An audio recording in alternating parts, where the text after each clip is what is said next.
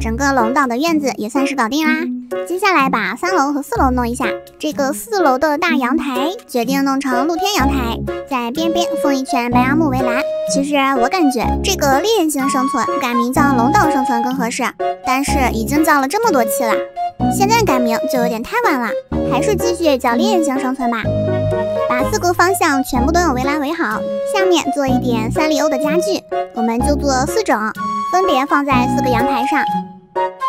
本来是想用沙发围着一个桌子的，但是这个桌子是一格的，沙发是两格的，作为强迫症来说就非常难受啦。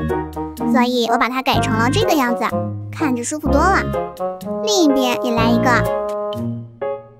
四组家具分别都放好。大眼蛙的、凯蒂猫的，最后是大耳狗的。阿狸把大耳狗的家具放成了这个样子，有点类似于看台，因为这个区域对应的是游泳池，坐在看台上正好看游泳比赛。然后呢，弄完之后，我想来中间给他们合个影，但是这个神圣树太碍事儿了，挡的那叫一个严实，什么都看不到。我决定还是把它砍掉吧。这么大的神圣树，砍起来那可费劲了。问阿狸要一把普通的斧头，我的可是附魔了精准采集的，那可不能用。Two thousand years later，一万年过去了，终于砍到百分之百了，手都要酸死了。这个树啊太大了，所以游戏画面也是卡住了。砍了几秒之后，反应过来，这个树呢，哎，没有完全砍掉。上面的大树冠还有好大的一部分呢，我们再飞上来把上面的砍掉，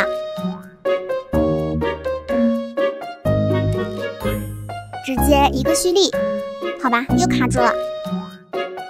哎呀，蓄力完了之后还是没有砍掉，但是我的钛合金斧子已经爆掉了，这个树也太难砍了吧！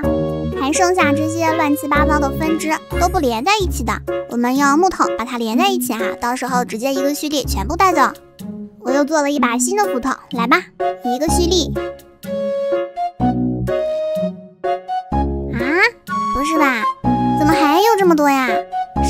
树的树干有很多都是斜着连在一起的，这种是不能一起蓄力的。哎呀，怎么办呀？烦死了，只能再找一些大点的区域再蓄力了。但是我发现有个问题，它好像有什么计算错误吧？我才蓄力了三次，斧子就给我爆掉了，砍的木头也不多呀。最后呢，我听阿狸的建议来做一把链锯，但是家里已经一个铁都没了，紫银石也没了，所以我们两个先分头行动。我去找一个新的火山，阿狸去挖紫银石，传送到之前的火山，往北方出发。走了没有五分钟，又遇到了一个新的火山，先定个点，把这些荧光晶体还有铁块全部都挖掉。